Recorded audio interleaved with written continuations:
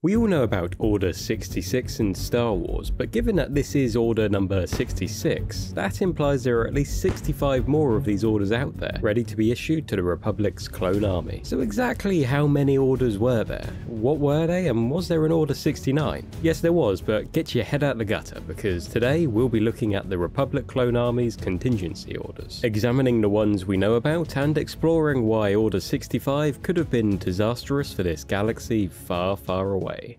These orders, or the contingency orders for the Grand Army of the Republic, to give them their full and proper name, were a series of different orders and protocols that would be carried out by the Galactic Republic's clone army if certain circumstances were to arise. And if any clones were to disobey one of these orders, they would be instantly stripped of their rank and submitted for execution. In total, there were 150 contingency orders, and they tended to focus on utilising the Grand Army of the Republic to maintain order and control within the galaxy under extreme circumstances. We only hear info about a few of these orders specifically, however, and what details we do have come from pre Disney sources, so the rest of this video will be focused primarily on Star Wars Legends canon. And to kick us off, we're starting with Order 4, which states that in the event of the Chancellor's incapacitation, overall command command of the Republic's forces would fall to the Vice Chair of the Senate, which during the Clone Wars was the big blue guy that likes to yell out, Order! The Chagrian Masameda. Vice Chair would then be relieved of command once a new Chancellor or alternative Supreme Commander of the military had been selected. I feel like this order could have been executed during the opening events of Revenge of the Sith,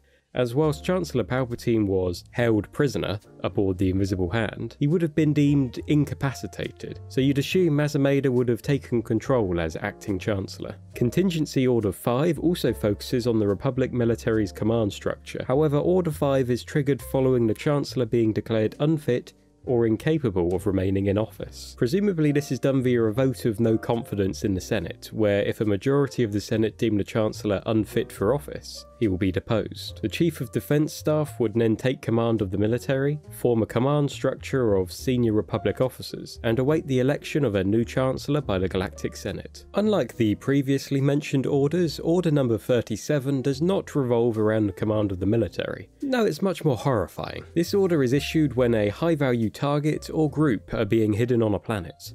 Once triggered, Republic forces will begin arresting civilians and threatening mass executions, should the local populace not turn over the wanted individuals. This order has actually been executed twice, once on the planet Balassa and another on the planet Rosha. Both of these events took place shortly after Chancellor Palpatine's declaration of a new order, which began the Republic's transition into a new, more sinister galactic empire. Order 37 also contains a grisly follow-up directive to do with the disposal of the bodies of an executed populace. Troops are ordered not to release the bodies of those executed to their families, shut down all HoloNet communications for the next month, and not release any reports or accounts of the events. So yeah, it's pretty grim. Now, Order 65 is a pretty big one, as it's kind of the direct opposite of Order 66. Rather than having the clone army turn on and execute their Jedi commanders, Order 65 commands the Grand Army of the Republic to detain the Chancellor, using lethal force if necessary. This order is triggered if either a majority of the Senate or the Security Council deem the Chancellor to be acting against the interest of the Republic. Once the Chancellor has been deposed, command of the military will fall to the acting Chancellor until a new democratically elected replacement can be found. This sounds like a more extreme version of the previously mentioned Order 5, but instead of the Chancellor being deemed simply unfit for office, they are instead deemed a traitor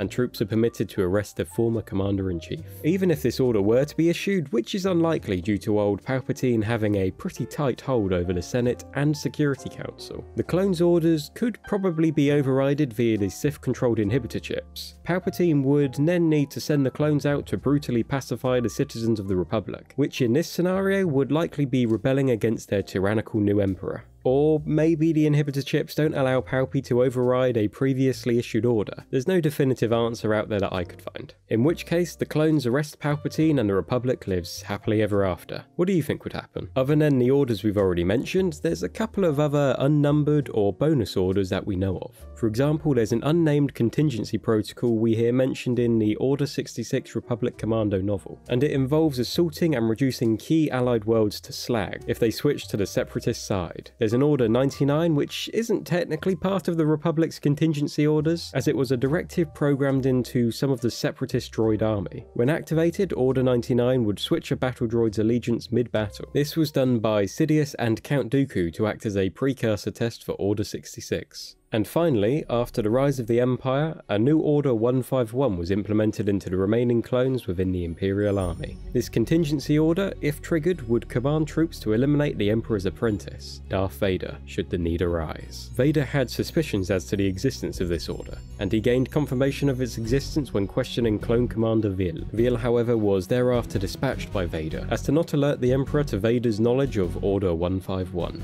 What do you think some of the other contingency orders were? Let me know your theories down below. Make sure to subscribe and hit the bell icon for more lore, and follow our socials via the link in the description. Thanks for watching, catch you next time.